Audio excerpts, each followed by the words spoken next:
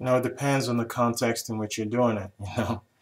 Um, if it's a really romantic moment, maybe the two of you have just been out for a romantic dinner or, you know, you've had a romantic time and now you're home and you're looking at each other in a deep way or you're looking at him into his eyes, that's different, you know. But um, if it's just a situation where you're just kind of looking into his eyes, he might think that's kind of like, oh, what are you doing?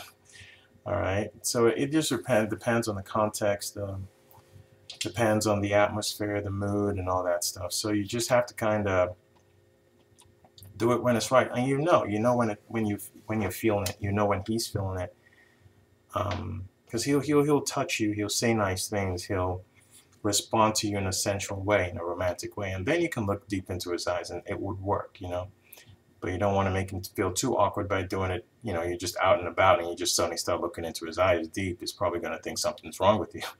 okay. All right. So it just depends on the, the context.